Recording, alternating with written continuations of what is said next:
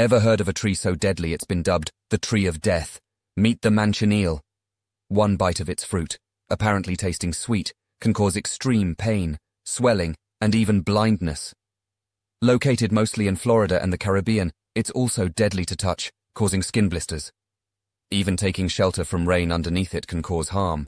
The toxic sap mixed with raindrops can cause skin burns. Despite its deadly nature, the tree plays an essential part in the ecosystem. Its roots prevent coastal erosion. And get this. It's marked with a red band, the international warning sign for leave me alone. Have you seen something so simultaneously ruinous and vital?